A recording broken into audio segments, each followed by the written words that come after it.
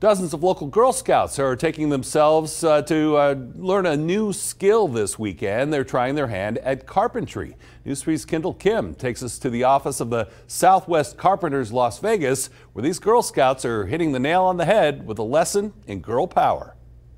Such a sense of accomplishment to actually fully complete something, even if it's as small as a derby car. For 13 year old Girl Scout Emily Cartwright, if you want something done right, you do it yourself. We like being pretty and I love having my nails done, but sometimes you just need to roll up your sleeves and do something.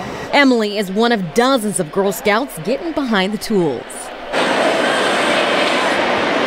Building their very own derby car you know, taking control. You know, it's like first is carpentry, next, who knows, it'll be automotive next. Troop leader Haley Blog helped organize the event, revving up the possibility that the impact here can go well beyond building the fastest car.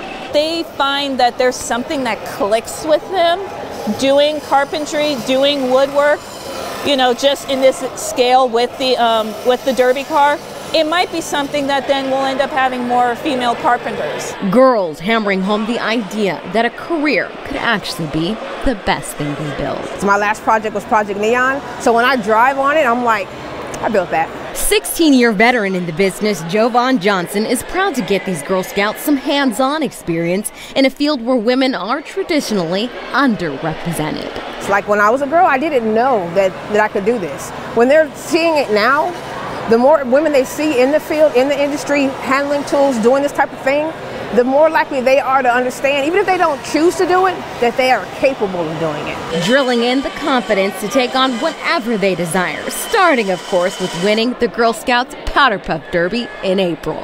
This year, I'm hoping I can get Best Decorated and the fastest car, which is why we're here today, because I want a really good car. In Las Vegas, Kendall Kim, News 3.